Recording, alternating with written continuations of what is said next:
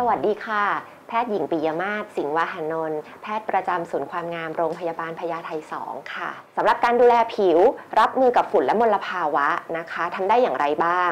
ไม่ว่าจะเป็นคนที่ผิวปกติ หรือว่าคนที่มีปัญหาผิวหนังอักเสบผื่นแพ้คันเป็นเป็นหายหายอยู่แล้ว ทั้งสองกลุ่มนี้การดูแลไม่แตกต่างกันนะคะ เพียงแต่ว่าในกลุ่มหลังเราอาจจะต้องให้ความสำคัญใส่ใจมากขึ้นเป็นพิเศษ อันดับแรก ควรจะหมั่นทาครีมบำรุงผิวให้ความชุ่มชื้นอยู่อย่างสม่ำเสมอนะคะ เพราะตรงนี้จะเป็นการไปช่วยเสริมซ่อมแซมเกราะป้องกันผิวทำให้ผิวเรามีความแข็งแรงขึ้น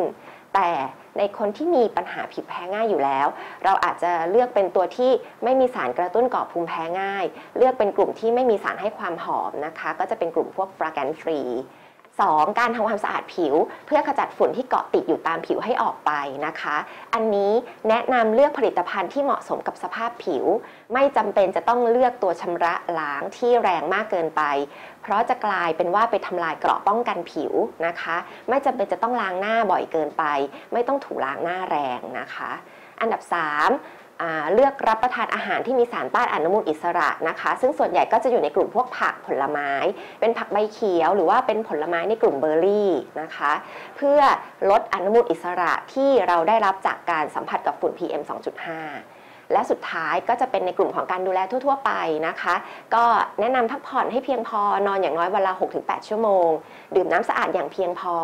ออกกำลังกายอย่างสม่ำเสมอ แต่ว่าช่วงนี้ก็ จจะแนะนำว่าเลี่ยงในการออกที่โล่งแจ้งเข้ามาออกกำลังกายในร่มแทนนะคะ ทั้งหมดนี้นอกจากการดูแลผิวแล้วก็จะเป็นการดูแลในระบบอื่นของร่างกายด้วยเช่นกันนะคะ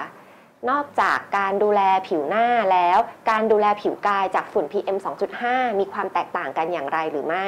จริงๆแล้วก็คือไม่ได้แตกต่างกัน เพราะว่าผิวเราไม่ว่าจะอยู่ในบริเวณไหนของร่างกาย หน้าที่สำคัญหลักก็คือ เป็นเกราะกำบังป้องกันผิวนะคะ เพียงแต่ว่าในบริเวณผิวกายเนี่ยจะได้เปรียบกว่าตรงที่ว่า เรามีการใส่เสื้อผ้าปกคลุมปิดไว้มิดชิดอยู่แล้ว ก็จะลดโอกาสในการสัมผัสกับฝุ่นอยู่แล้วในเบื้องต้นนะคะ เพราะฉะนั้นในช่วงนี้ก็แนะนำว่าอาจจะใส่เป็นเสื้อแขนยาวกางเกงขายาว แต่เราอาจจะเลือกเป็นเนื้อผ้าที่บางเบาโปร่ง บางสบายนะคะ ใส่แล้วไม่อึดอัดจนเกินไปสำหรับวันนี้ก็มีฝากไว้แต่เพียงเท่านี้นะคะ ขอบคุณค่ะ